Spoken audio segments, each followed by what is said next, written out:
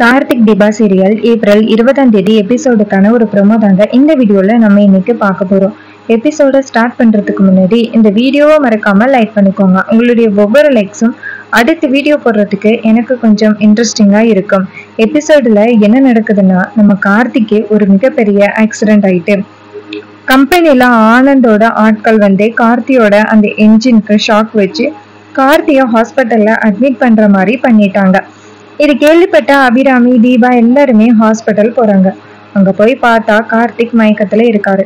அப்ப டாக்டர் சொல்றாங்க மேடம் கார்த்திக் வந்து இப்பதான் வந்து கண் முழிச்சிருக்காரு. நீங்க போய் பார்க்கலாம் அப்படின்னு. அப்ப அபிராமி தீபா எல்லாரும் போய் பாக்குறாங்க அப்ப கார்த்தி மயக்கத்துல இருக்காரு. அப்ப அபிராமி சொல்றாங்க கார்த்தி நான் அப்பவே இந்த சவால்லாம் வேணான்னு சொன்னேன். கொஞ்சமாவது நான் சொன்னதை கேட்டியாப்பா? பாரு இப்போ உனக்கு எப்படி ஆச்சு? அப்படின்னு. அதுக்கு கார்த்தி சொல்றாரு அம்மா நான் எப்படியாவது சவாலில் ஜெயிச்சு இந்த குடும்பத்தில் உள்ள பிரச்சனைகள் எல்லாத்தையுமே தீர்த்தரலாம்னு நினச்சேன். ஆனால் நான் நினச்சது ஒன்று நடந்தது ஒன்றா மாறிடுச்சுமா அப்படின்னு. அதுக்கு அபிராமி சொல்கிறேங்க கார்த்தி இப்போ கூட எந்த பிரச்சனையும் இல்லை. சொத்தெல்லாம் உன் பேரில் தான் இருக்கு. அதனால ஆனந்தால எதுவும் பண்ண முடியாது அப்படின்னு. அப்போ ஆனந்த் அந்த இடத்துக்கு வராரு. வந்துட்டு என்ன?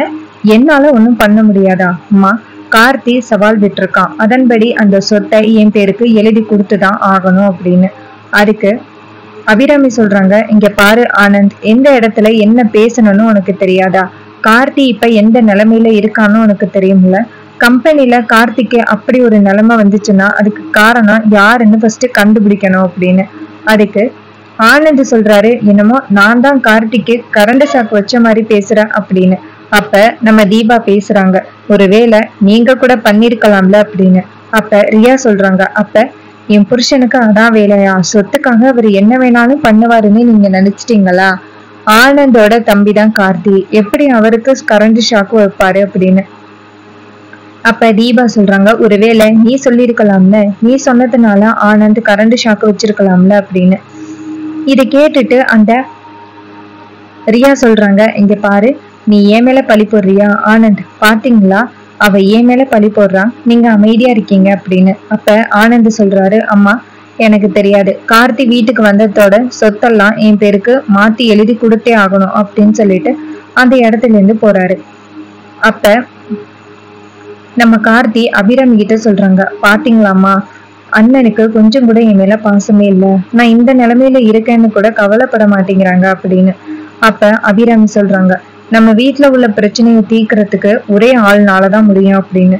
அப்ப கார்த்திக் கேட்குறாரு யாரும்மா? அப்படின்னு. அப்ப அபிராமி சொல்றாங்க நாளைக்கு காலையில உனக்கு தெரியும் அப்படின்னு. கார்த்தியும் சரிம்மா அப்படிங்கிறாங்க. அதுக்கப்புறமா கார்த்தியை டிஸ்சார்ஜ் பண்ணி வீட்டுக்கு கூட்டிட்டு வராங்க.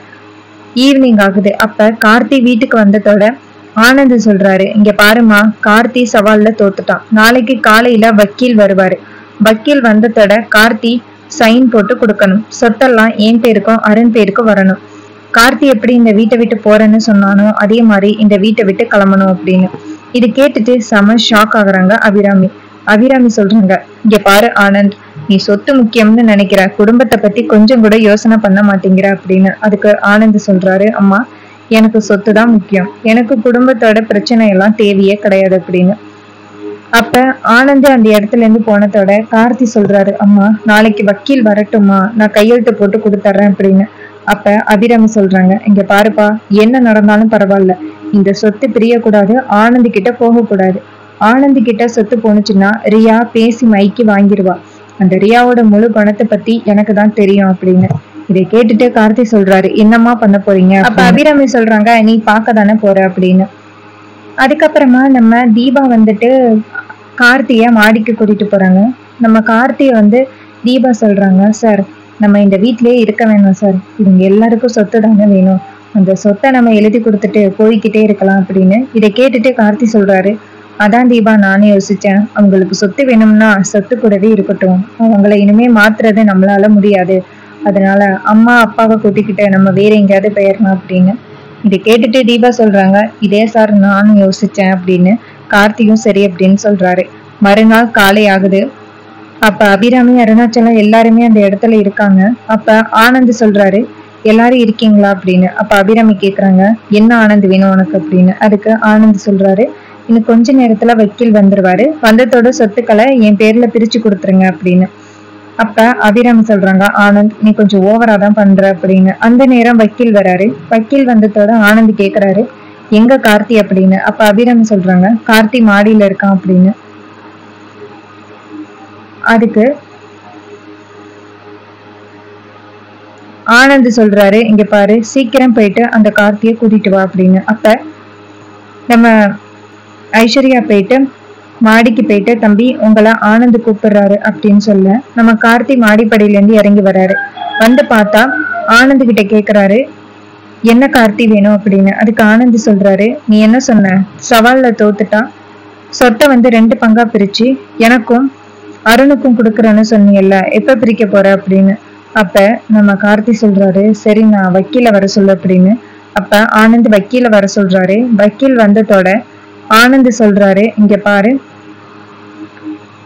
இதுல அப்படியே கையெழுத்து போட்டு கொடு. இதுல எனக்கும் அருணுக்கும் சொத்து சரி பங்கா பிரிச்சு இருக்கு அப்படின்னு.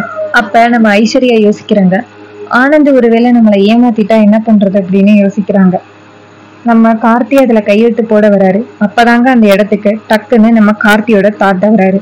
கார்த்தியோட தாத்தாவை பார்த்ததோட செம ஷாக் ஆகுறாங்க நம்ம கார்த்தி. அப்ப ஆனந்தும் ஷாக் ஆகுறாரு. அப்ப தாத்தா இங்கேன்னு வந்துட்டு நிறுத்துங்கடா அப்படின்னு சொல்ல கார்த்தி சைன் போடுறதை நிப்பாட்டுறாரு. அப்ப ஆனந்த் சொல்றாரு கார்த்தி சைனை போடு அப்படின்னு. அப்ப தாத்தா சொல்றாரு சைன் போட்டீங்கன்னா அவ்வளவுதான். யாரும் அதுல கையெழுத்து போடக்கூடாது அப்படின்னு சொல்லிட்டு தாத்தா வீட்டுக்குள்ள வந்துட்டு அந்த பத்திரத்தை கிழிச்சு வீசுறாரு. இத பார்த்துட்டு அங்க உள்ளவங்க ஷாக் ஆகுறாங்க. அப்ப அபிரம சொல்றாங்க அப்பா வந்துட்டீங்களா? இனிமே எனக்கு எந்த பிரச்சனையும் இல்ல. நீங்க எந்த பிரச்சனைய பார்த்துப்பீங்க அப்படின்னு. அப்ப தாத்தா கேக்குறாரு என்ன ஆனந்த்? என்ன வேணும் உனக்கு? ரொம்ப நாளா இந்த வீட்டுல பிரச்சனை பண்ணிக்கிட்டு இருக்கேன்னு நினைக்கிறேன் அப்படின்னு அதுக்கு ஆனந்த் சொல்றாரு. இங்க பாருங்க தாத்தா எனக்கான சொத்தை நான் எழுதி வாங்குறேன் அப்படின்னு. அப்ப தாத்தா சொல்றாரு ஓ இந்த பொண்ணு தானா நீ இப்ப கல்யாணம் பண்ணி கூட்டிட்டு வந்திருக்கிறது? இந்த பொண்ணை நம்பிதான் மகாலட்சுமி மாதிரி இருக்க மீனாட்சி இந்த வீட்டை விட்டு துரத்துனியா? அப்படின்னு. அதுக்கு ஆனந்த் சொல்றாரு தாத்தா நானும் அந்த பொண்ணு ரொம்ப நாளா விரும்பணும். காலேஜ் படிக்கும் போதே விரும்பணும். அம்மாவால தான் நான் வந்து ரியாவை வேணான்னு சொல்லிட்டு மீனாட்சியை கல்யாணம் பண்ணேன். இப்ப எனக்கு மறுபடியும் ரியா கிடைச்சிருக்கா? என்னால ரியாவை யாருக்கும் விட்டு கொடுக்க முடியாது அப்படின்னு. இதை கேட்டுட்டு தாத்தா சொல்றாரு உனக்கு கொஞ்சம் கூட வெக்கமே இல்லையா?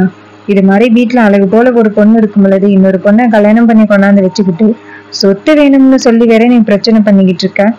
அப்படின்னு. அப்ப ஆனந்த் சொல்றாரு தாத்தா இது எங்க வீட்டோட குடும்ப பிரச்சனை. நீங்க இதுல தலையிட வேண்டிய அவசியம் இல்லை. அப்படின்னு. அப்ப தாத்தா சொல்றாரு இங்க பாரு இந்த குடும்பத்துக்காக உழைச்சது அப்படின்னா அது கார்த்தி மட்டும்தான். கார்த்தி தான் இந்த காஸ்மெட்டிக் கம்பெனிக்காகலாம் அவ்வளவு உழைச்சிருக்கான். அப்படி இருக்கையில நீங்களும் இந்த சொத்தை பங்கு போடுறது ரொம்ப தப்பு அப்படின்னு பேசுறாரு. அப்ப ஆனந்த் கொஞ்சம் பயத்துல நிக்கிறாரு. ஏன்னா தாத்தா செம்ம கோவக்காரரு. அப்கமிங் எபிசோடுல என்னெல்லாம் நடக்க போகுதுன்னு பொறுத்திருந்து பார்ப்போம்.